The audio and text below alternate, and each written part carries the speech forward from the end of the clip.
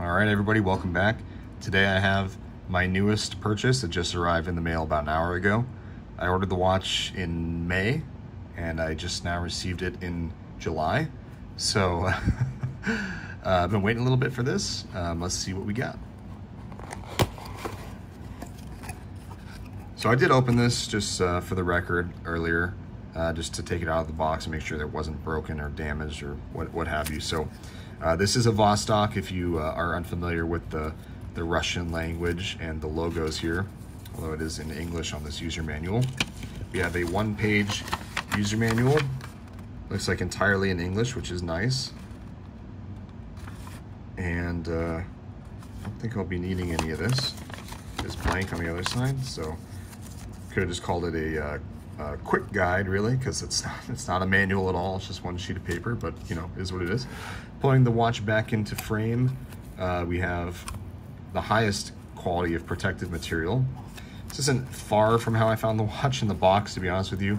It was um, wrapped around this uh, foam, kind of like this, but you know, what's that really doing? Nothing.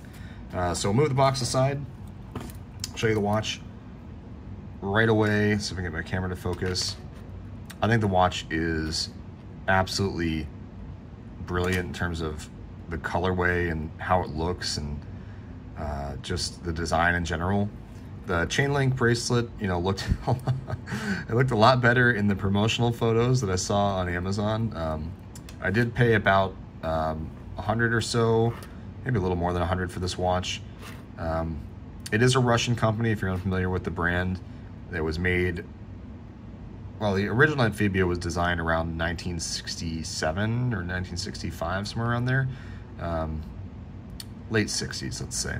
And it was designed for the Russian government uh, for use in military. I guess it was the Soviet government at the time.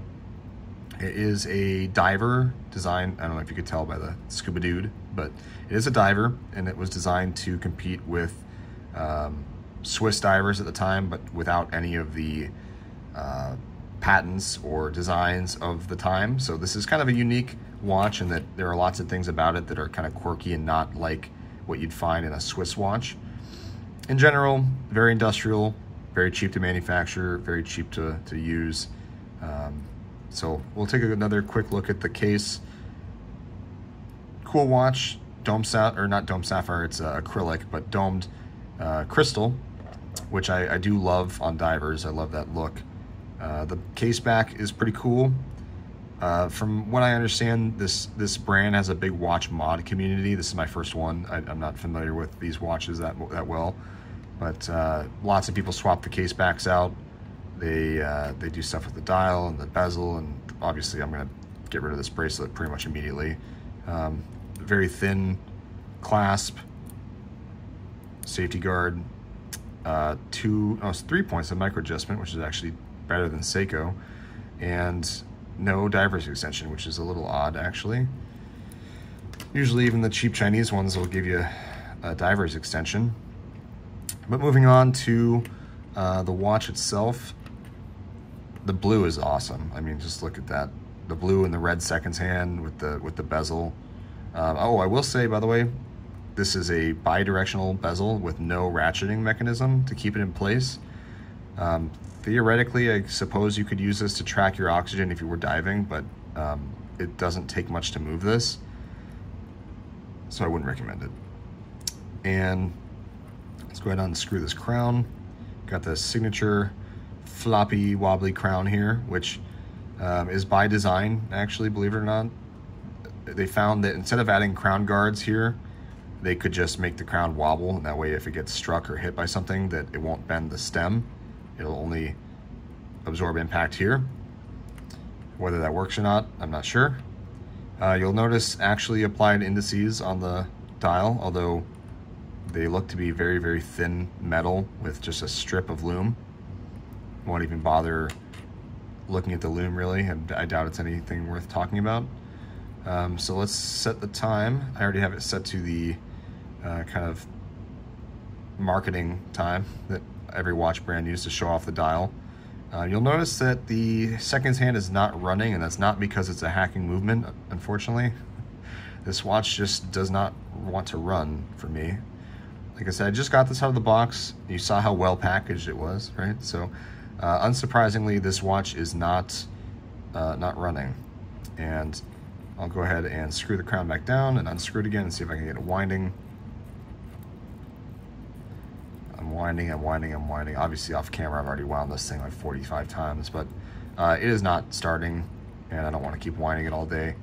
Um, this watch is just dead on arrival, unfortunately, which is uh, unfortunate because I actually do really like the watch and I wanted to wear it. Um, I waited two months for it, paid over 100 bucks, and it shows up dead. And the worst part is that Amazon won't even let me file for a refund. I uh, I request requested um, a return or a refund because it was damaged, and uh, they said it's not eligible for a return or a refund for whatever reason. I'm not sure. So I left a review on the watch itself on their Amazon page, and I sent the seller a message. I doubt I'll hear anything from that, but you never know. Maybe they'll send me another one and I can get that in two months. Uh, obviously, with everything going on over there, it's not that unexpected that the mail is taking a little bit longer to get here than usual. Uh, but this is a cool brand with a lot of cool history. Um, these are super popular watches for the price. Very industrial, very workhorse type watch.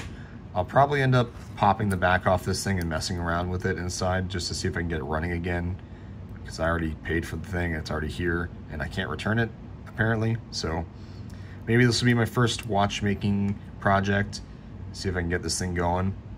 But, uh, but yeah, unsurprisingly, two pieces of foam and uh, a cardboard box did not protect the watch from internal damage. This is literally how the watch was shipped. It just came inside of one of those uh, plastic bags basically with this inside. So I'm sure that in two months, it was thrown around quite a bit by Russian postal carriers and then customs and then U.S. Postal Service, which is all, you know, government postal services, man. What are you going to do?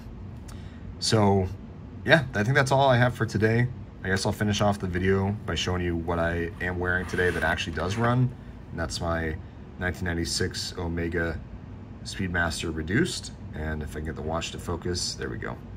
This is one of my favorite watches. I have uh, three of these reduced, all in Schumacher editions. Uh, love that Hesalite crystal dome, just like that Vostok, which, you know, classic look there. Is not a dive watch, obviously, but, you know, it's the only one I'm wearing today that runs. So that's, that's that. All right, everybody. Thanks for tuning in, and I'll see you in the next one.